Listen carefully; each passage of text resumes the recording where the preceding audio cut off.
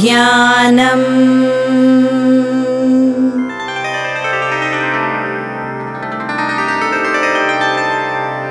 सत्यज्ञानसुखस्वरूपममलम् क्षीराब्धिमध्यस्थितम् योगारूढमतिप्रसन्नवदनम् भूषासहस्रोज्ज्वलम् त्र्यक्षम् चक्रपिनाकसाभयवरान् बिभ्राणमर्कटच्छविम् छत्रीभूतफणीन्द्रमिन्दुधवलम् लक्ष्मीनृसिंहम् भजे उपास्महे नृसिंहाख्यम् ब्रह्मवेदान्तगोचरम् भूयो लालितसंसारच्छेदहेतुम् जगद्गुरुम्।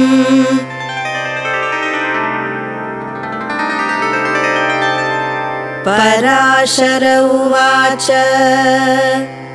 मन्त्रज्ञानक्रियायोगसारभूतैश्च नामभिः ब्रह्माणा संस्तुतो विष्णुः सहस्रम् तद्ब्रवीम्यहम्।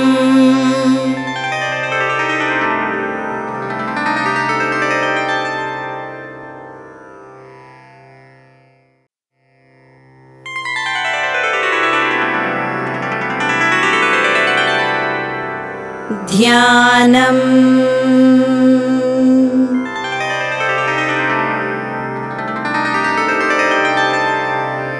सत्यज्ञानसुखस्वरूपममलम् क्षीराब्धिमध्यस्थितम् योगारूढमतिप्रसन्नवदनम् भूषासहस्रोज्ज्वलम् त्र्यक्षम् चक्रपिनाकसाभयवरान् बिभ्राणमर्कटच्छविम् छत्रीभूतफणीन्द्रमिन्दुधवलम् लक्ष्मीनृसिंहम् भजे उपास्महे नृसिंहाख्यम् ब्रह्मवेदान्तगोचरम् भूयो लालितसंसारच्छेदहेतुम् जगद्गुरुम्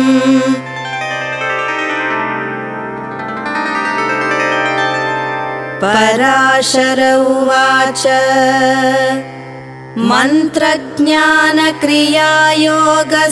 मन्त्रज्ञानक्रियायोगसारभूतैश्च नामभिः ब्रह्माणा संस्तुतो विष्णुः सहस्रम् तद्ब्रवीम्यहम्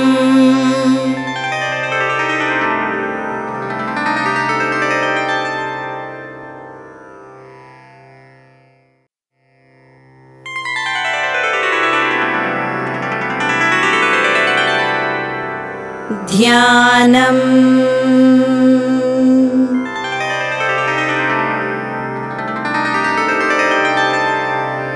सत्यज्ञानसुखस्वरूपममलम् क्षीराब्धिमध्यस्थितम् योगारूढमतिप्रसन्नवदनम् भूषासहस्रोज्ज्वलम् त्र्यक्षम् चक्रपिनाकसाभयवरान् बिभ्राणमर्कटच्छविम् छत्रीभूतफणीन्द्रमिन्दुधवलम् लक्ष्मीनृसिंहम् भजे उपास्महे नृसिंहाख्यम् ब्रह्मवेदान्तगोचरम् भूयो लालितसंसारच्छेदहेतुम् जगद्गुरुम्।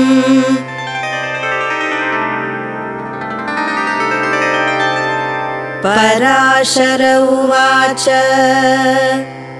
मन्त्रज्ञानक्रियायोगसारभूतैश्च नामभिः ब्रह्माणा संस्तुतो विष्णुः सहस्रम् तद्ब्रवीम्यहम्